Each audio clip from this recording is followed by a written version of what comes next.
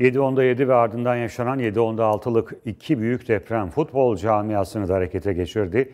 Beşiktaş, Fenerbahçe ve Galatasaray kulüpleri taraftarına çağrıda bulundu.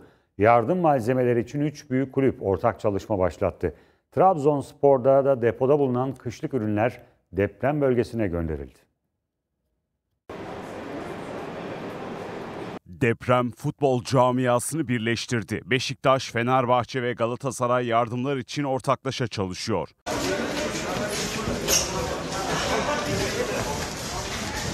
Üç büyük kulüp sosyal medya hesaplarından biz beraberiz etiketiyle taraftarlarına çağrıda bulundu.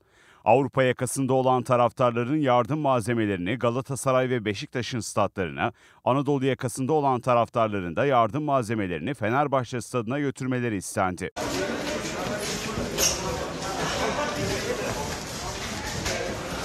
Takımlar sosyal medya hesaplarından ihtiyaç malzemelerinin listesini paylaştı. Futbolcular gelen malzemelerin ulaştırılması için gönüllü olarak çalıştı. Fenerbahçe kalecisi Altay tüm camiamızı yardım etmeye davet ediyoruz ifadelerini kullandı. Galatasaray Başkanı Dursun Özbek de çalışmaları yerinde takip etti. Galatasaray olarak burada e, elimizden gelen her şeyi depremzedelere ulaştırmaya çalışıyoruz.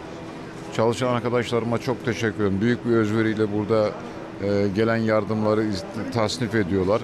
Bölgeye de hemen ulaştıracağız. Beşiktaş'ta Şenol Güneş ve futbolcular taraftarlardan yardım kampanyasına katılmalarını istedi. Beşiktaş kulübümüzün başlattığı Vodafone sahasında e, toplanacak olan bütün eşyaları, maddi manevi yardım ne varsa yapmaya hazırız Beşiktaş camiası olarak.